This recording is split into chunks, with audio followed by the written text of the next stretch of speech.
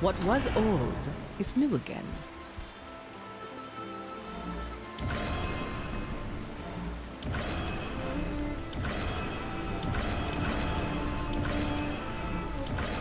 I would not burden you, horseman.